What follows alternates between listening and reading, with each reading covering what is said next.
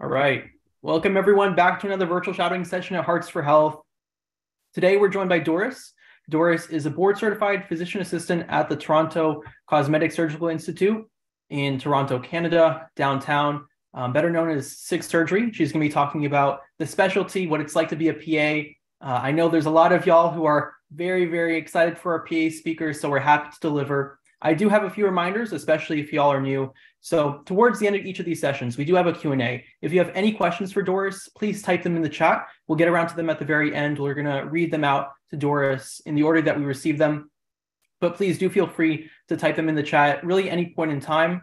Also, if you want to stay tuned with more shadowing sessions, you probably saw the shadowing session or got to hear through our Instagram page. That's one of the ways that we publicize and announce our shadowing sessions through our flyers. Another way is our email listserv. That email listserv includes flyers too, so you're not going to be missing out on anything. It does include some extra opportunities too as well, and we do post those from time to time on Instagram. But our email listserv is a weekly listserv. You can subscribe either by emailing us at community.h, the number 4h at gmail.com. I'm going to include that address um, after this session in the video description.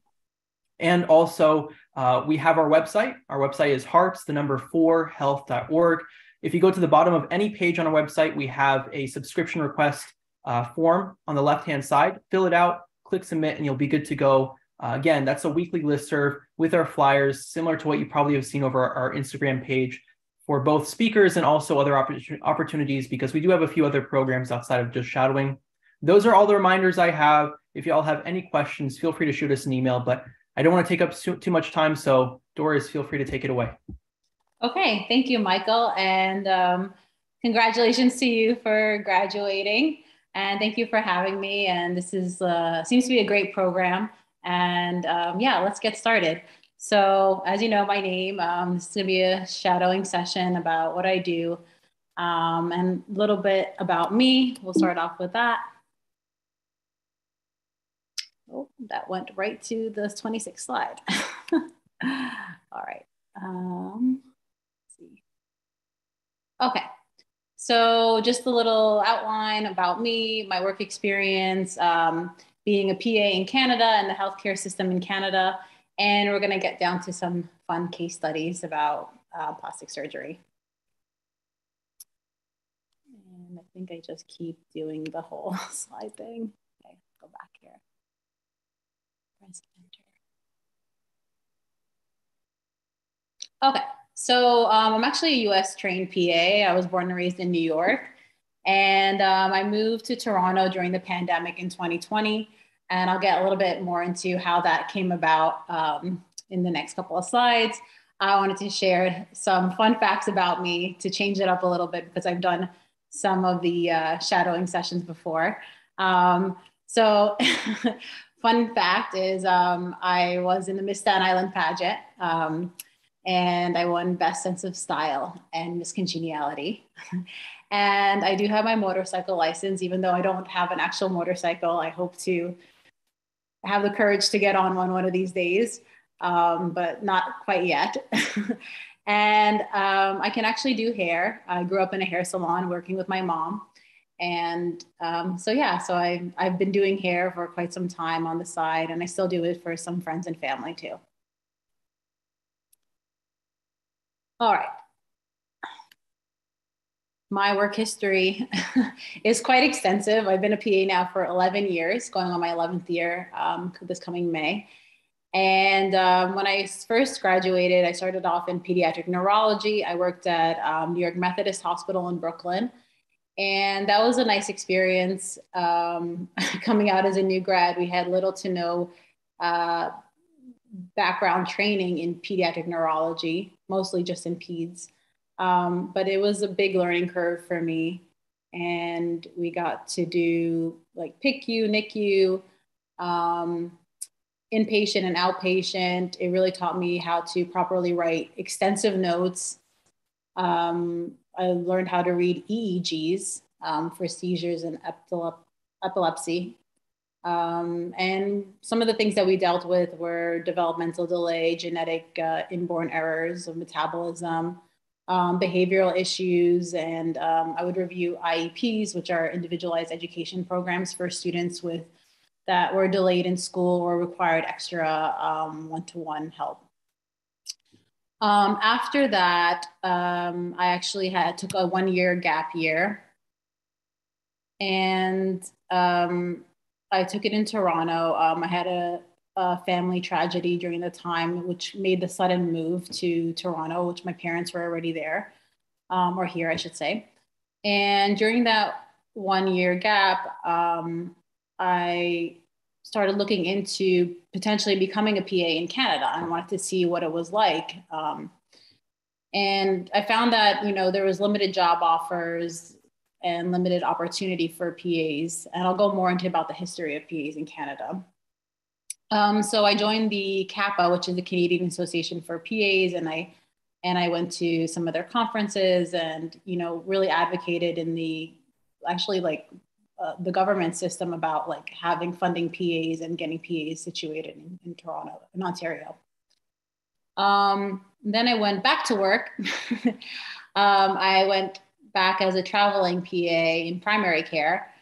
And um, this was quite a challenge for me to take off of a year from PA, being a PA and then going back into it. Um, I thought after one year I'd be, you know, fine, jump back right in but it actually was a challenge for me. I had to review quite a bit. I had to, um, you know, um, like really put the work in for being a traveling PA because uh, there's really no handholding when it comes to that. So if you're thinking about being a traveling PA and you're a new graduate, I wouldn't really advise it unless you're really quick on your feet and not about handholding and willing to see 30 patients right off the bat. Um, so that was a challenge too. Uh, so I did primary care in rural parts and um, in Southern California with the Imperial Valley region, and then in Northern California in Humboldt County, and it served a it served a rural area. Um, and now, um, after that, I did uh, plastic surgery in upstate New York, and I did that for three years, and then I came to cosmetic plastic surgery. So first I was doing reconstructive hand surgery and um, like skin cancers and breast cancer reconstruction. And then now I'm just doing cosmetics. Um, and I also took recently took like a part-time position in, as a sub-investigator doing uh, phase one studies um, on medication, pharmaceuticals, and bioequivalent medications. Um, I'll go a little bit more into my fun of the place that I'm in today. I like actually interviewed with uh, with um, Dr. Jugenburg or Real Dr. Six um, back in 2016, and I remember in the interview he told me that I had no, you know, plastic surgical experience, and and so I went back to the states and I applied for any single job that I could find in plastic surgery as a PA, and I got accepted and I got my experience and I emailed his staff saying, "Hey, I have my experience now." And so he brought me back in. took took 4 years, but I eventually came back to work in Toronto.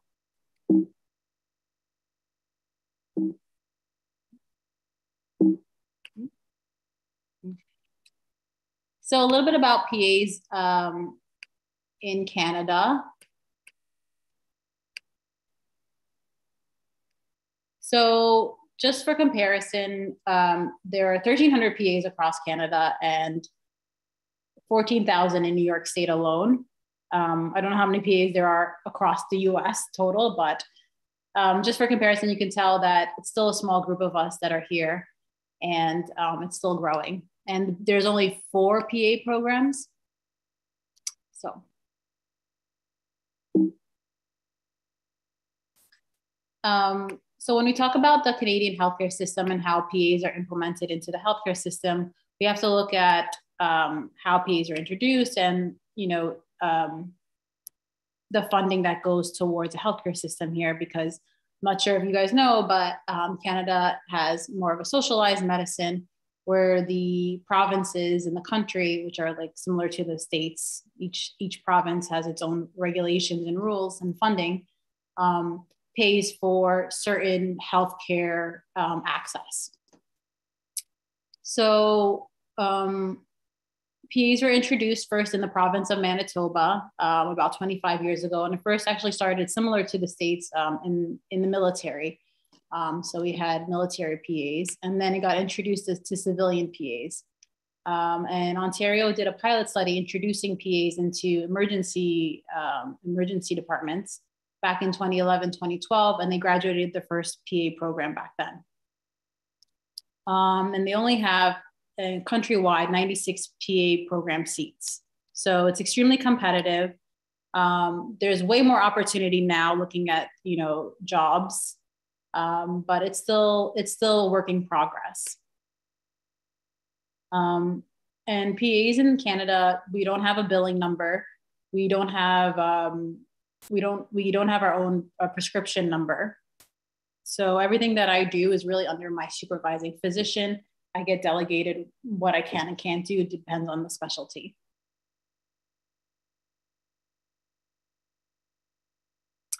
Okay, now for the fun part, um, we have a few patient presentations and uh, we'll go over what it's like going through plastic surgery and what we do preoperatively, intraoperatively, and then um, post-op. We'll talk a little bit about recovery as well.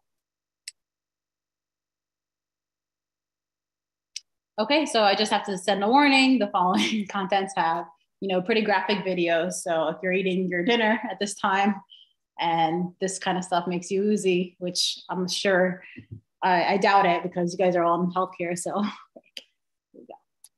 so I have the first case. Um, this patient came in for um, interested in abdominoplasty and paniculectomy. So abdominoplasty and paniculectomy are similar terms. Um, paniculectomy is a larger pannus. So pannus is the uh, the lower part of the abdomen that we typically excise. Um, so she's a 40 year old female and she really was interested in the abdominoplasty in particular because of the rectus diastasis repair. So usually when we do our abdominoplasties, we repair the rectus muscle, which can get separated um, after pregnancies and or weight weight gain or weight loss. Um, so her past medical history, this is something that we look at um, to see how many pregnancies she actually had and um, any history that would indicate risk factors for the surgery. And because this is elective surgery, our priority is that the patient is healthy and safe before entering into something, you know, for, you know, entering into something dangerous that can potentially um, be a risk factor to their life. Um, we don't want to be uh, put them in that predicament. So we take a full history. Um, so this patient in particular, she had a PE during one of her pregnancies. Um, and that actually increases her risk of DVTs and PEs even during the surgery. So we have to take into account how long the surgery is. Um, we usually, some people go by a Caprini score, which takes into account your, um, your age, your BMI, and will recommend uh, either like uh, low molecular weight heparin um, to prevent that, or maybe just like SCDs or you know, compression stockings. So it all just depends on that patient in particular. But again, history is extremely important. Um, so, and any you know surgery that's going to be longer than two hours or three hours, you know, increases your risk of a P- DVT. Um, so she, her surgical history, she had an open laparotomy um, after a car accident. She, I think she was, this particular patient was, you know, hit by a drunk driver and had multiple injuries at the time, and they had to go in for an open laparotomy. Um, this, this is actually a pertinent uh, factor in her history because we want to know if maybe she has potential hernias um, that can, you know, be something that we look at, especially if we're planning on liposuctioning um, the area. Um, she's a non-smoker. She's allergy to ciprofloxacin, and she gets a rash when, that, when she takes it. And her current BMI is 27. So certain plastic surgical clinics um, will have a BMI cutoff, depends, especially for elective surgery.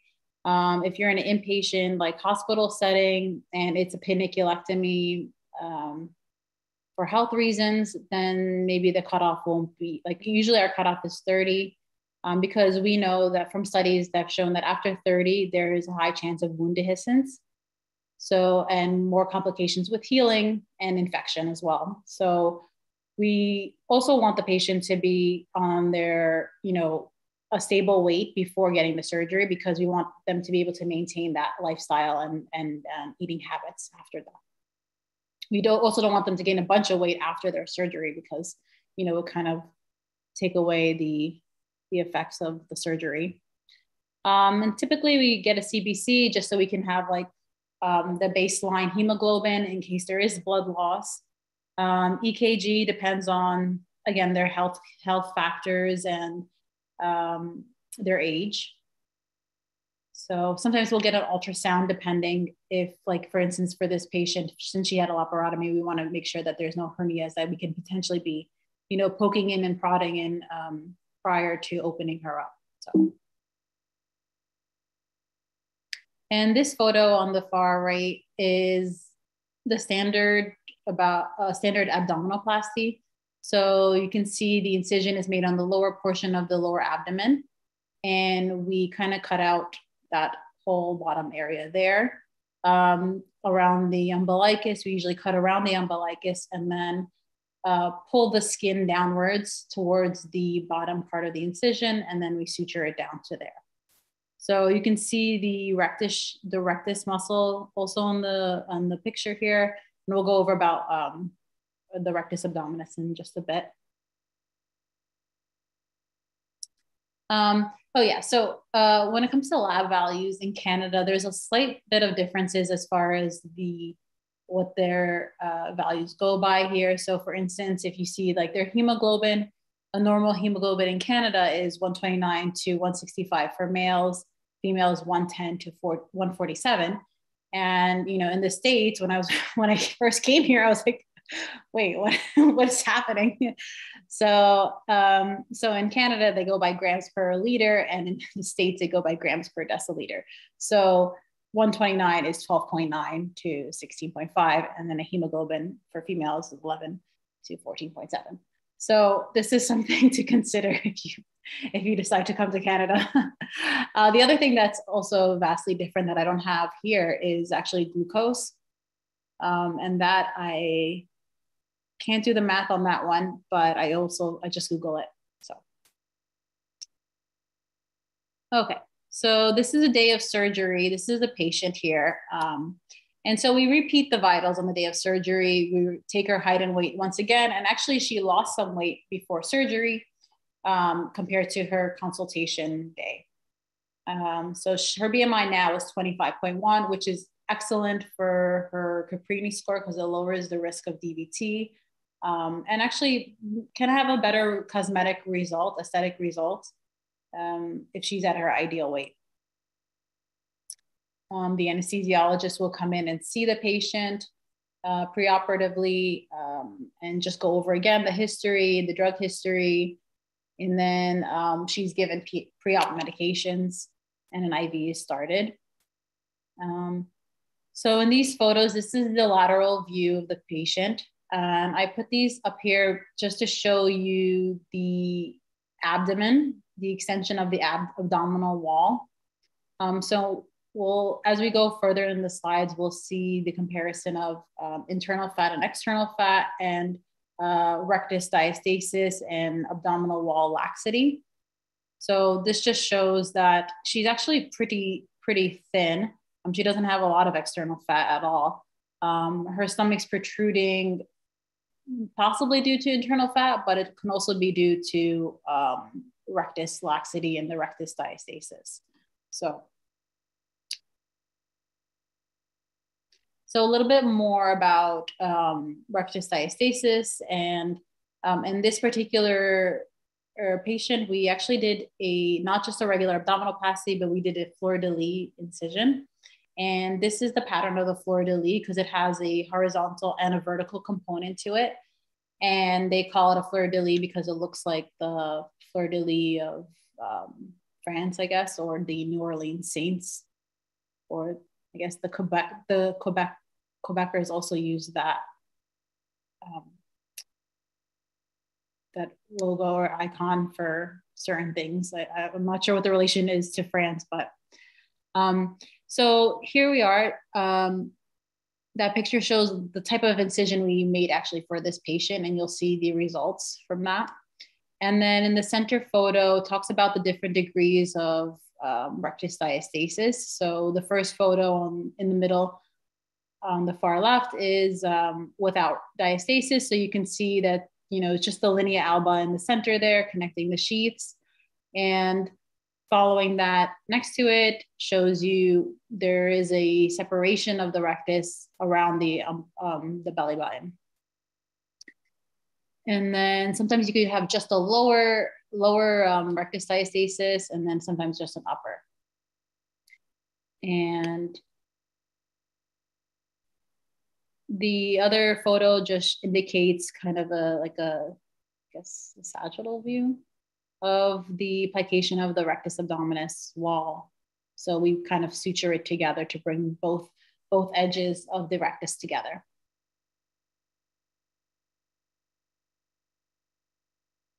Okay, so day of, day of surgery, remove all jewelry um, because sometimes the metal in the jewelry can conduct electricity when you're using a cautery. So we have them remove everything. Um, all the consents get signed. We confirm the surgery once again with the patient. We do several timeouts to confirm we're doing surgery on the proper site, the location, are we liposuctioning? You know, all these all these things come on the day of surgery as well. And then the surgeon does his markings or her markings, and we take photos preoperatively. Um, so um, for medications, the day of surgery, we have the patient refrain from any type of blood thinners, so any type of NSAIDs prior to surgery.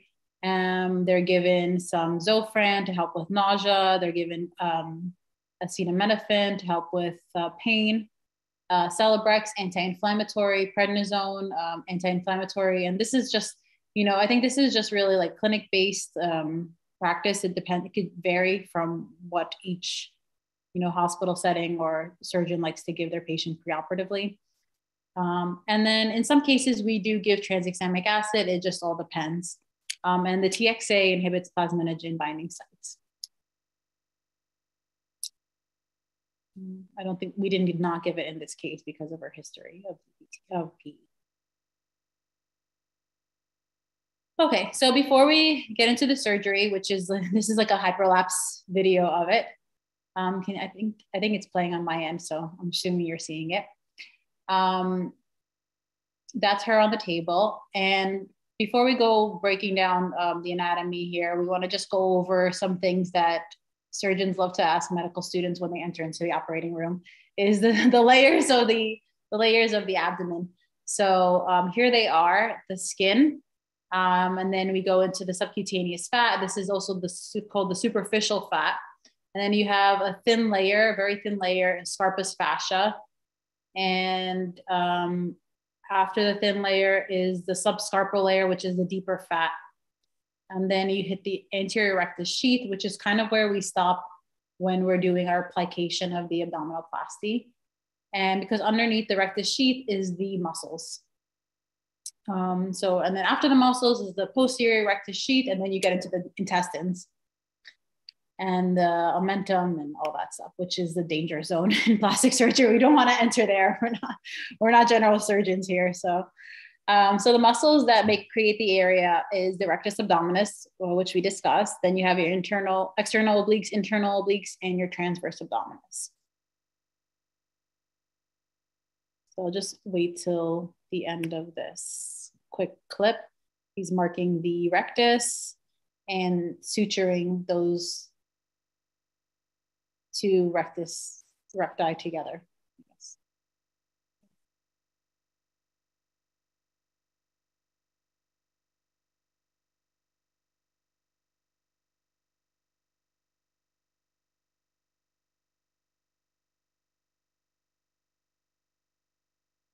And you can see from his markings that both sides now are much closer together. We add more sutures. Because she, this patient in particular had a, such a large rectus diastasis. So it was pretty severe. Um, every time we kept bringing the rectus together, um, the skin that was attached to the um, anterior rectus sheath uh, also would come together. And so she had this like lump in the center there. So that's why we had to make a vertical incision to kind of get rid of that um, skin, excess skin there. You can kind of see it bulging out in the center.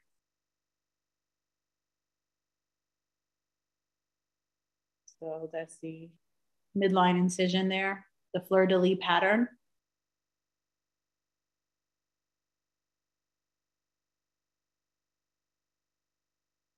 Gonna go to the next slide because it goes more, it's a slower version of this. Okay, so patient is put to sleep. We review the timeout once again in the OR. Um, and we begin um, by make by injecting tumescent solution. And inside of the tumescent solution is um, epinephrine, which is a vasoconstrictor to help with the reduction of the blood loss. Um, we use a blunt cannula because we don't want to, you know, cut into cut through the rectus sheath, cut through the muscle. Uh, we have to be very, very careful, especially with this patient, because we know she's had prior surgery, and we don't want to, you know, get into bowel at all.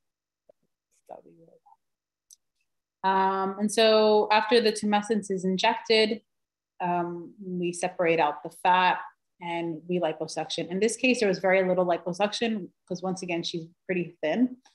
Um, and, and then we create the markings once again and we cut.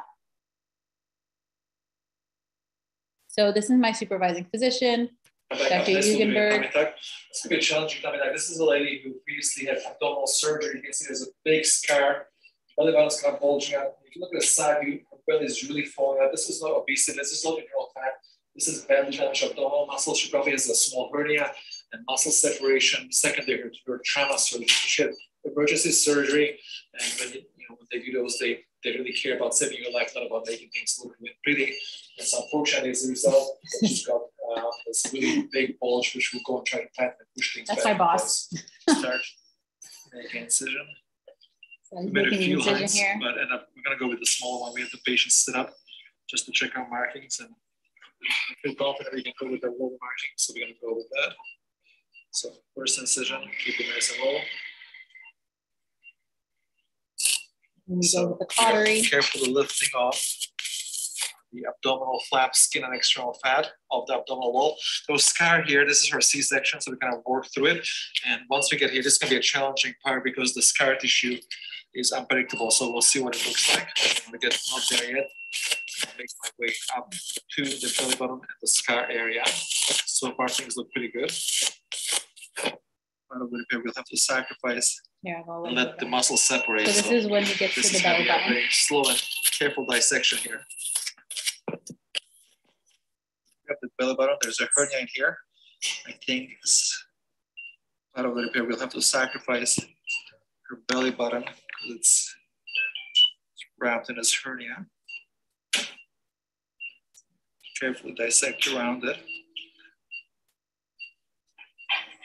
So we usually cut around the, the belly button and then bring the skin on top of it downwards. And then we create a new opening on the skin surface to bring the belly button through um, while keeping it attached to its blood supply. However, in this case, because of our previous history, um, was, the blood supply was, because of the scar tissue, um, we couldn't really preserve the blood supply there. And we tried to, I think, and then we had to actually remove the belly button. belly button. But don't worry, there's a happy ending to the story. we undermine all the way up to the xiphoid. Ribs come together, xiphoid's right so you there. undermine all the way to the xiphoid, which is right in between muscles. the rib cage. The separation is not too bad, but the muscles have been probably injured and innervated, so they've stretched out. So we'll do a lot of tightening. To tighten up our abdominal wall. quite a bit undermine all the way up to the xiphoid. Very, very loose abdominal wall. Uh, yeah, you can just tell by the laxity automatically. And marking are good. So the midline, So he draws out where he's going Right to put the off her belly sutures. That's the midline. Her separation itself is not that wide, but the, bringing this together is not going to be enough. I'll probably have to go much wider.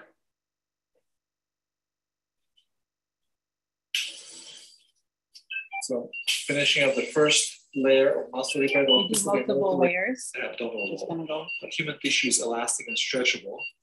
And without proper support of our muscles, which So are now you can tell damaged when you like push it down on much, the abdomen, Over time, she'll stretch out again. It's Nothing like before.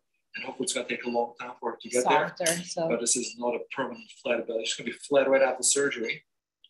But over time, things will stretch out. And again, not as bad as before, but she will not have the same flatness a month from now as she does immediately after surgery. and these sutures last about six months. out after all the muscle plication This was all See the this line? excess skin.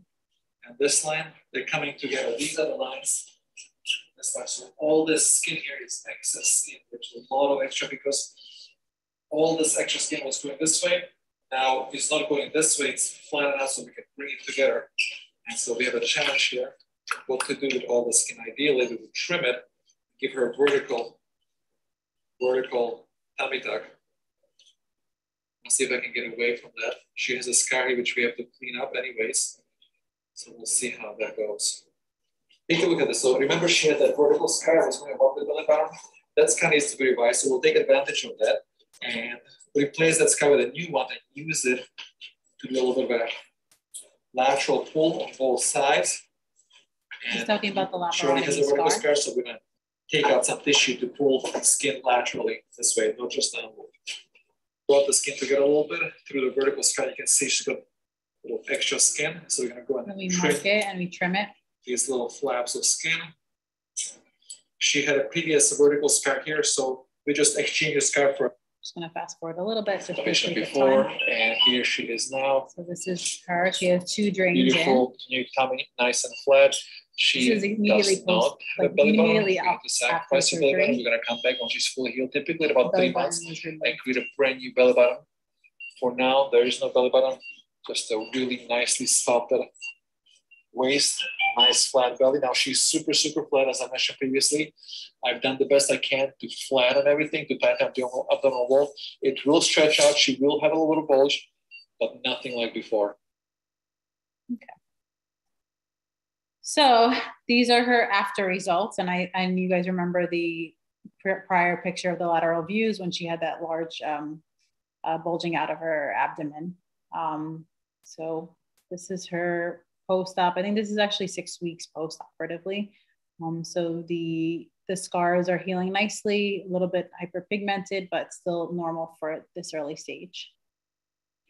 So here we are now. She's done one week after tummy tuck. Vertical scars, really Very nice. Severe muscle diastasis, So muscle repair. So we did a lot of bringing. So we pull the skin down and this way, just because we brought so much muscle together, the skin bunched up. She already had a vertical scar, so we Okay. So, um, so yes, he he removed the belly button. Um, so, what would be the function of the belly button in this case? Um, we actually don't need our belly button as adults. Uh, it's just something in utero that provides nutrition from the mother to the fetus. And after that, we technically don't need it. So it just kind of looks weird. So we we we still will we'll still give her a belly button, but we came back later. It won't be an actual belly button, but it'll look like one. This is her again. It's nice and low. Now, if you notice, she does not have a belly button. there was no way to salvage that belly button with all the all the muscle repair with it. So we're gonna come back at three months. And so we did come back at three months. And so this is the marking, the center photo is the marking of the small procedure. We just did this under local. It wasn't a major surgery at all. It took 10 minutes. Um, you inject a little bit of local, like xylocaine, and, and then you just make an incision and you fold over the skin flaps down to the uh, rectus sheath. So it kind of gives you an um, infold there. And that was case number one. I actually work with three, oh, sorry, four plastic surgeons, um, two females and two males. Um, the person you saw on social media is called Real Dr. Six, aka Dr. Jugenberg, and he's my boss. So this is just me in the operating room um, with after liposuctioning and you know just hanging out there and okay so this is our second case um, we have a 49 year old female um, she came in because she was unhappy uh, with her body especially after children and she did lose some weight so she wanted to kind of have some surgical intervention here um, so she got what we call a mommy makeover, which is a breast augmentation, a mastopexy, abdominoplasty, um, and that comes with the rectus diastasis repair. And she got saline implants. Uh, so saline implants we fill with saline, as it sounds. So the shell comes empty, and we can fill the shell up, up to 100 cc's more than, or 150 cc's more than um, it comes in. So um, let's see here. So again, we go over past medical history. She's had three children. Um, she's had a history of C-section. She has history of hypothyroidism and anxiety. She doesn't have a surgical, oh, surgical history would be the C-section and include that here. Um, she quit smoking uh, a year and a half ago and she has two drinks um, per weekend. So social history is important, especially the smoking, because uh, the nicotine um, can, especially long-term smoking, can create a problem with the vasculature of the blood vessels, especially the smaller blood vessels. So we have to take that into account anytime we're removing skin and we're worried about blood supply. Um, we're always worrying, worried about blood supply in plastic surgery. So, um, so fortunately for her, she quit, um, and you know, anesthesia would see her and make sure her lungs sound good, and she doesn't have any COPD. A medication she's currently taking is levothyroxine and um, uh, Effexor and a multivitamin. Her BMI is a little bit on the higher scale, 29.4. So just again, just puts her at higher risk of DVT and complications and you know um, wound healing issues potentially, but we still we still will do a case like this. Can you turn to your right side? So he'll do his markings. Um, this is a patient before. And this is what she looks like. Um, first with the breast surgery, we infiltrate something similar to Messin solution into the breast um, just to create a plane there. And we, we will put the implant submuscularly Let's see what the next slide holds. Okay, so on the far right, he's doing his surgical markings. This is immediately before surgery. And we're doing both the top and the bottom. Her belly. And she sits down, you can see she got this full, all this extra skin. So we're gonna try to remove this, tighten this up. And we had her lie down just to simulate what happens when you take away the gravity, right? So when she stands, everything is falling out, her belly is really bulging. When she lies down, everything falls in. So this is this gives you an idea of how much uh, volume there is. This is about as as as narrow as flat as we can create her for her. This is her ribs sticking out here. So these are ribs sticking out, and we'll do some muscle tightening to try to keep her as So we do put the implants under the um, muscle and we put it under the um, pectoralis major. This is the circumcision to the breast fold. I want to make my way down. So this The implant is going to go video under the of the muscle. breast So we do this going in. to the pocket. So we create a incision in the IMF, which is the inframammary fold. These are the saline implants that he's taking out now. We go them in betadine. six fifty. It's a big shell. It is pretty a bigger size, uh, 650 um, cc's. Um, however, she's broader and her chest wall, we base it off of the chest wall length. So we'll see the results. Think about certain implants, they go into a small opening and then they get inflated once they go inside. And then you fill them with uh, saline.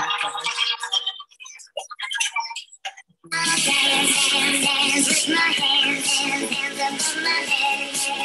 this is us filling them with saline. So we have uh, regional lip we're gonna cut a new areola So once they're once we put the implants in, then we can make our markings for the actual lift. Um, because um, the implants are supported by the muscle now, and so they're going to be sitting much higher than the actual breast tissue, which have which usually fall over time with gravity. Um, so we'll bring the breast tissue up along with the areola so that it stays in line with the um, actual implant. Well, less small lift. It's less of a lift than I thought. Good for her, less of a stairs. So we'll lift. this with a vertical lift, not only for the anchors I was initially planning. So we'll, we'll go over the different types of lifts so that we do. Breathe up. Remove excess skin.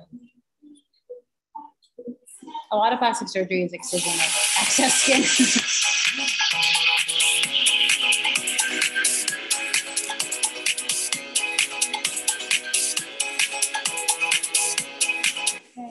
and that's the that's the end result of the breast on the far left. And then we went into the abdomen, and here he's just injecting tumescence. And we kind of went over what the abdominoplasty would look like. So I'm not going to go over the full video. But I just wanted to show you him injecting um, tumescence. Because we did do a lot of liposuction on this particular patient, unlike the other previous case that I discussed. So we're gonna stop and move on to the So this is the liposuction part. Liposuction. Make sure you got a good amount of fat. Um. It should. Uh, no, I thought that we had more video of him doing liposuction. We should do more liposuction, uh, but it's, it's too bloody, so we're gonna stop and move on to the top So similar like the other case, incision made. Lobules. And here he's just demonstrating, um, well, this is the belly button now, so but he's going to demonstrate the external internal fat and Scarpa's fascia here. There's your old belly button. Look at the thickness of external fat. Look at the size of her fatty lobules. That was not liposuction. So in this particular case, I really can't see the separation between the superficial and uh, deep fictional fat. fat. There's usually separation against no it's Scarpa's fascia. And I really, really can't see it. I think it could be, I, am I'm, I'm just guessing, could be down there. So really, to very little deep external fat and a lot of superficial external fat. And separation's right there. It was very difficult to elevate. And you can see here, I, I don't see, um, maybe, maybe I see Scarpa's fascia there. I'm, I'm really just guessing because it's not obvious. So you can see sometimes people are 50 50, sometimes 60 40 short tummy tuck. So with the head. That's a big. That was the excess amount of skin we removed on this patient. Her results are pretty incredible. Of fat, big of fat and a lot of extra skin. Okay, so here we are um, so this is a before and after, the same patient, um, breast lift, breast implants. And you can see on the, the post-op picture, the implants are still sitting up high. It's still early in the recovery. They will fall and drop a little bit. Um, but she had a pretty, really good result and outcome. Um,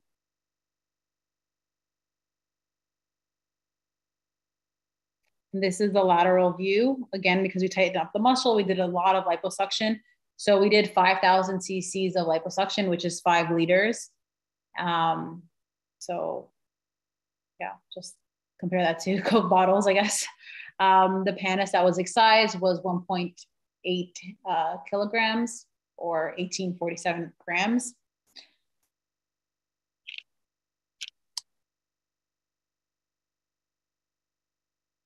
So she did have two drains because we usually put drains. Uh, well, one, we put sutures in to kill off some of the dead space there because once we undermine the flap, we have to, um, we want the upper part of the skin to come back down to the rectus sheath. Um, otherwise, the space in between, between will just collect fluid, and we call that a seroma. And then eventually, what can happen with the seroma is it can become infected, and that would be then we'd have to open up and you know incision and drainage pretty much there so we use drains we use sutures to prevent the seroma from happening and infection from happening um, and typically we will remove the drain um, when the output is less than 25 cc's, like two days consecutively. Okay, so going back to the blood supply, um, a lot of emphasis on the blood supply, both to the areola and to the abdomen, which is the next slide. Um, so for this patient, we did a vertical incision. Sometimes we'll do an anchor incision, which is shown on the uh, picture over here, the different types of um, incisions that people, that surgeons can make for when you're doing a breast lift, breast reduction, or um, uh, mastopexy. So the first one is an anchor type of lift, and we did a vertical, which is shown here as, as G. And um, so the blood supply comes from the um, internal thoracic artery via the anterior perforators, and internal thoracic is also known as the mammary artery. And then you have the lateral thoracic artery, and it comes from the intercostal, and these go through the perforators from the intercostal arteries. So that's important to know um, because we want the blood supply of the areola to to suffice. We don't want a dead areola, and then we have to do wound debridement and you know uh, a patient to lose their areola.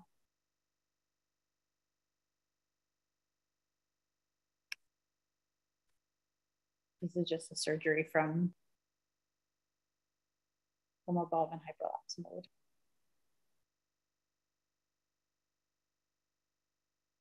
And you can see she really had a really drastic uh, result. This is them cutting off the pannus. Hmm, sorry, guys. Just through the hole. Her belly. Sorry, guys. I just kind of jumped ahead here. Here we go. Okay. Um, and then also the abdomen. So when we remove the lower portion of the of the abdomen, the pannus, um, we again we have to worry about blood supply, um, especially after all that liposuction. Um, so and especially when we you know cauterize blood vessels and we're lifting up the flap off the rectus sheath, we want to make sure that um, the blood supply is intact because this can cause a wound dehiscence and infection and um, dead tissue essentially that needs to be debrided. So um, when it comes to the abdomen, um, we have the deep epigastric inferior and superficial branch of the iliac, um, the deep circumflex iliac artery uh, that branches off into the external iliacs. And then you have the superficial inferior epigastric artery, then that supplies the skin of the lower abdomen. And then they talk about zones. If you want to get into the zone one, zone two, zone three, um, based off of the um, arterial location.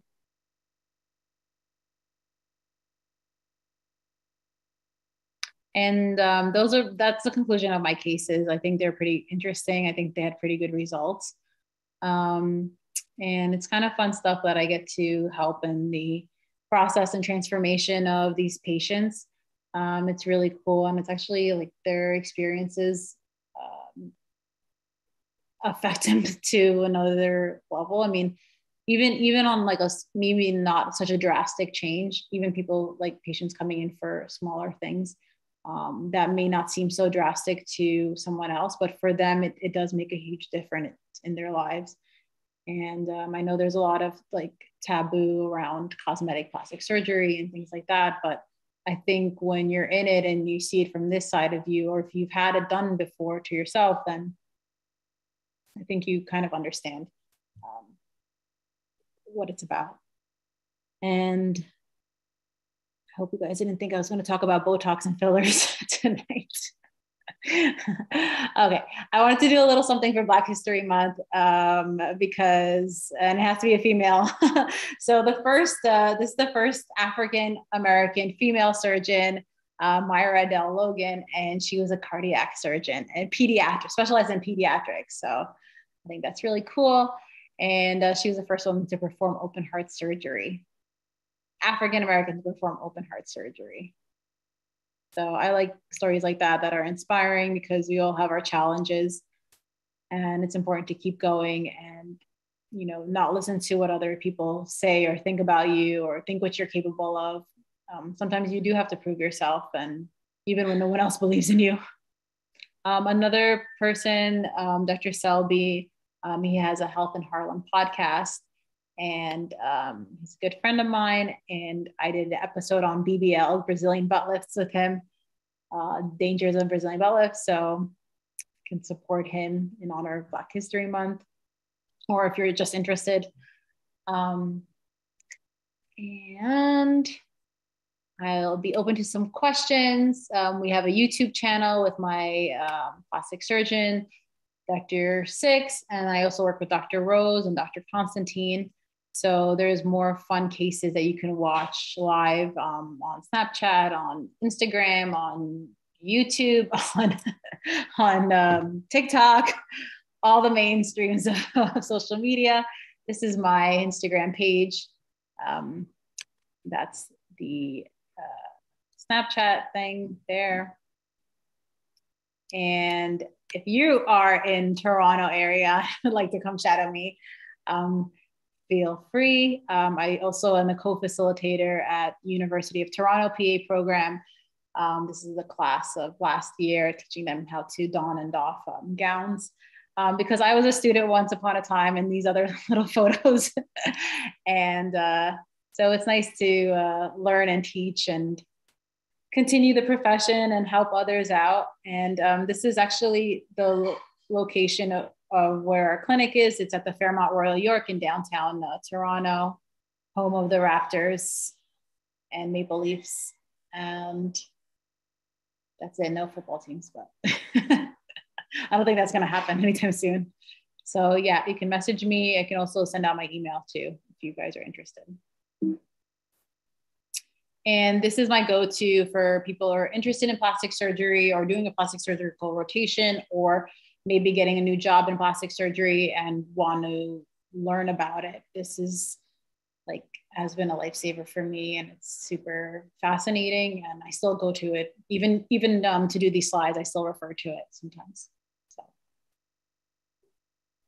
think that's it for my slideshow I don't know if I'm making good timing or yeah, if I through that. But I'm yeah, open to any questions you guys may have. Yeah, we have quite a few rolling through. Um, I just want to first of all thank you, Doris, for getting this together. Um, I mentioned this before we got started, but wonderful graphics and the doctor himself was going through these surgeries. That's that's a unique thing. I think we've had one session where we've been kind of taken through. It was live. We've been taken through, and, and seeing those videos is very very helpful. It's really cool to see it too. Um, the OR is sometimes a space that students can't really get much access to or, or would love to get access to and, and just take a look. So that's really greatly appreciated. Um, we have a lot of comments, a lot of questions. So just to start it off, our first question is, could you talk about your schedule?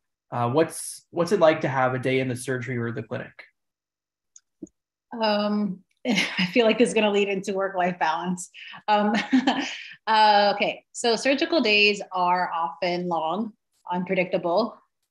Um, it's kind of go with the flow type of thing. But I typically start my day at seven o'clock in the operating room. Um, but obviously the I get dressed and get there, so I wake up at like five thirty just to get there on time. And um, we start the first case at seven thirty. I go over the cases for the day, like looking at their charts. Um, my primary like role in this particular clinic is to like assist in the operating room so, um, you know, some surgeries are like three hours, some are four hours. The shortest one is like an hour. Um, and we typically, you know, go until we're pretty much done for the day. Um, sometimes that's later, sometimes that's earlier. It just really depends if we're running on time, if there's, you know, sometimes the patients, sometimes the patients, there's issues with the patients, we have to cancel them if, you know, especially now during this season, we're getting a lot of cancellations due to like upper respiratory infections, viral illnesses. So sometimes we get like half a day and we're like, yes, let's get out of here. But um, I usually work four days a week um, in the operating room. And, you know, lunch breaks are are pretty quick. Um, but it's a fun environment. It's like go, go, go, and we try to be efficient. Uh, we try to reduce the amount of medical waste that in this particular clinic. Um, it's something that we care about. Um, and yeah, and then the other day that I'm not here, I am in the um, in the testing center, um, reviewing and pre-screening patients. So um, yeah, it's a lot of fun. Sometimes I will do assist with follow ups and stuff like that in, in this clinic, but uh, mostly needed in the operating room for suturing and. Yeah, uh, definitely a variety of schedule there, which is cool. Yeah, yeah. Our next question is about why you decided to become a PA. Did you ever consider any other health profession like med school, nurse practicing, any other side to healthcare besides PA? So yeah, um, I didn't really talk about it um, in my slides, but yeah, I became a PA. Um, I actually made the decision in high school, and my program was five years right after high school. So I finished. I graduated pretty early on in, in my early twenties, and I became a PA because uh, I actually had a dermatology PA that was like so awesome and would take care of my really bad skin and acne. I know you can't tell now, but I had really bad acne um, as a teenager and even into my early 20s. Um, so she basically spent so much time with me and really walked me through the process and, you know, just talk to me. And it was really nice to have someone like that who was my healthcare provider. Um, I felt like the physician was very busy, you know, in and out of the room, you know, hardly made an interaction with me. And I was like, oh, this is cool. Like, I kind of want to look into this career. And, and so um, I decided on the PA program. I looked into programs and I applied for it as a senior in high school after my SATs. um, uh, yeah, I did consider other, I, I did consider like MD. Um, but at the time, you know, just the schooling seemed so long and I didn't want to deal with residency. You know, when you're a teenager, you're just like, I want to get out, I want to make money, that type of uh, mentality. Um, I don't know if I, I would reconsider that at this stage in in the game. Um, I think it's a possibility, um, but it's never too late to go back to school. I do feel like I have a great knowledge base and experience, and maybe even further interventions like hospital policies and things that we're where we can make a change after learning about um, you know, some of the downfalls of the healthcare system to try to improve that. But yeah, I would consider other, even now, I mean, I, I don't think it's too late. I would consider other, um, other schooling or more schooling.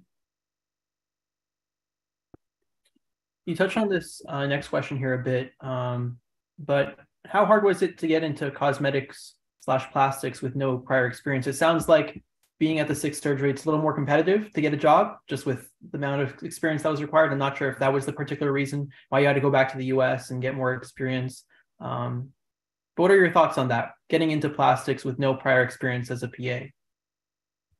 Um, yeah, it was, it was tough. I think right now it's a little bit easier just because more plastic surgeons are looking for PAs and willing to train. And sometimes the training could be based on the techniques of that particular plastic surgeon and like things done a certain way. Um, so they're a little bit, new grads are a little bit more moldable. But um, in this particular practice, I'm actually really glad that I came in with experience because it's a quite a demanding job. Um, and it's just better to have experience, honestly. Otherwise, you kind of feel like you're thrown in um, with this level of demand.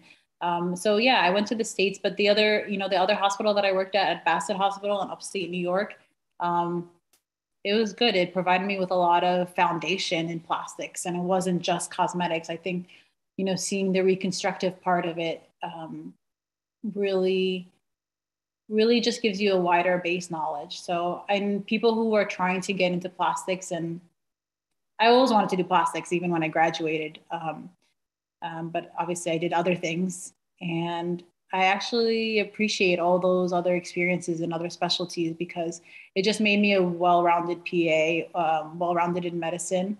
Um, to be in one niche and knowing medicine of like one type of specialty um, is limiting and can be kind of boring. So, but it's nice to incorporate, you know, and get the whole picture of medicine. So, those people who are anxious to get into jump into cosmetics, thinking it's like Botox and fillers, like it could be a good thing or you want to start your own medical spa like that's awesome like you should pursue it but don't get discouraged if you know you have to do primary care for a few years just to get your feet wet so come shadow me too that's good experience yeah if you are in the area definitely shadow her also and, and i think we'll go through three more questions just to wrap it up for the sake of time Our next one is Did you have to go through any fellowship or further trainings at any point in time, or was it mainly experience that got you to the next level after PA school?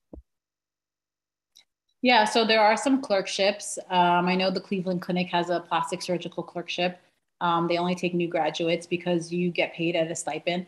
Um, um, so no, me in particular, no, I didn't have extra training or clerkships that I went through. I just applied for, you know, plastic surgical jobs across the country. Like I didn't, I didn't limit myself to the state that I would live in or the place that I would live in, or if it was like, you know, some city or like a particular place that I wanted to be in.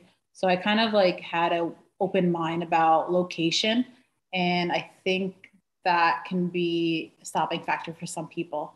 Um, but you know, not everybody can do that based on their family stuff. So. And I think you already touched a little on this, but outside of just becoming a PA, what interested you specifically in the specialty in plastic surgery?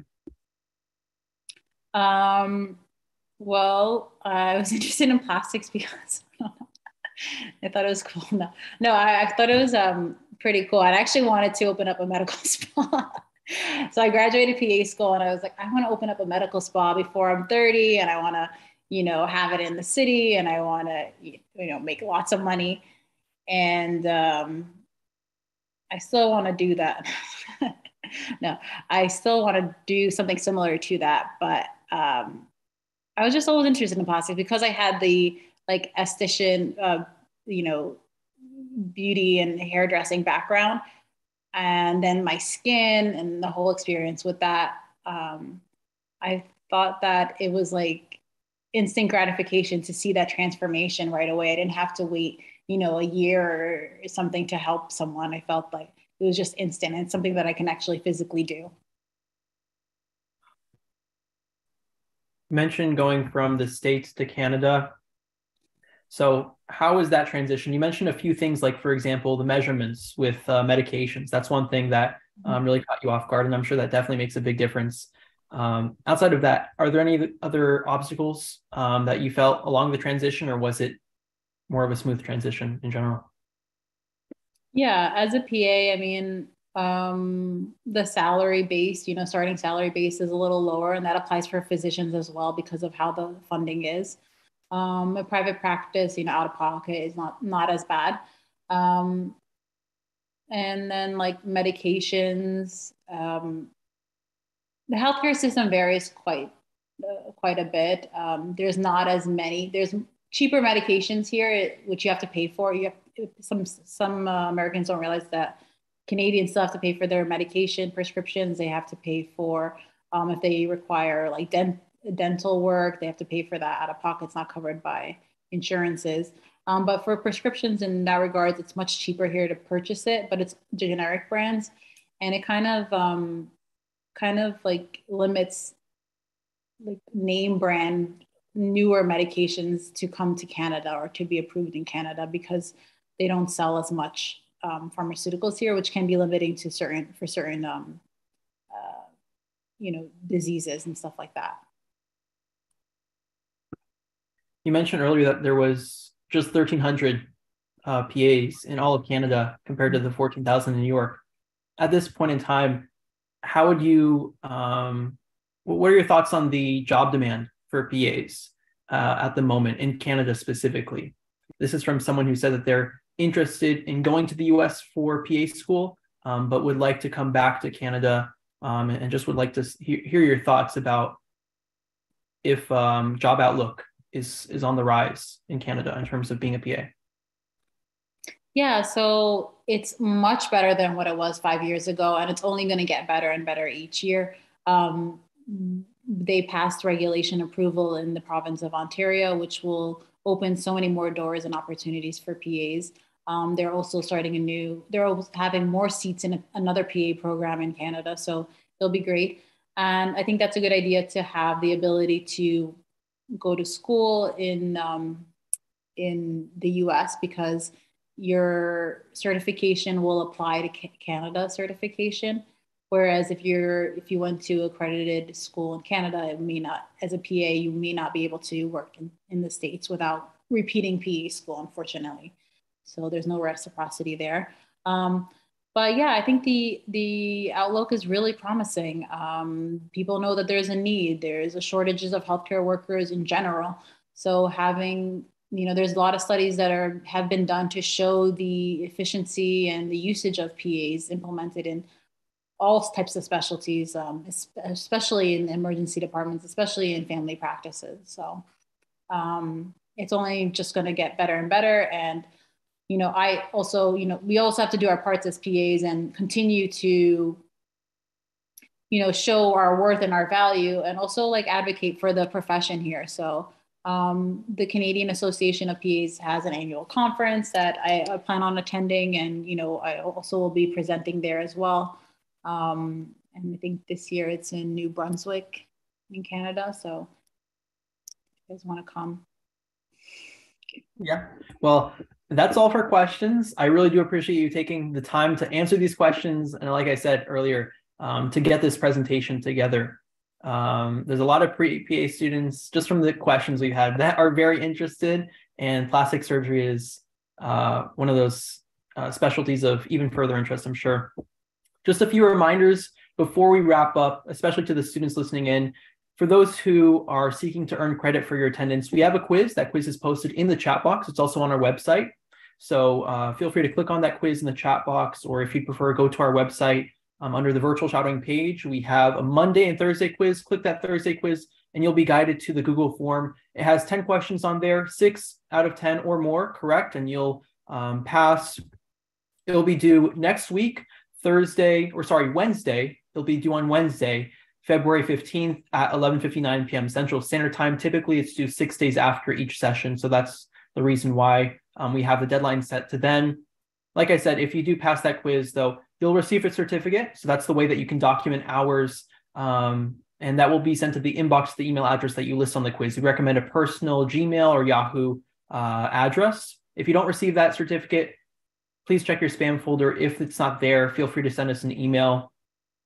Um, but in terms of our future shadowing sessions, we're not going to have a shadowing session on Monday. Unfortunately, our speaker was not able to make it for Monday, but we will have a session next Thursday on the 16th of February, same time, 7 p.m. Central. It's going to be with Dr. Asif. He's a transplant hepatologist at Mayo Clinic in Rochester, Minnesota.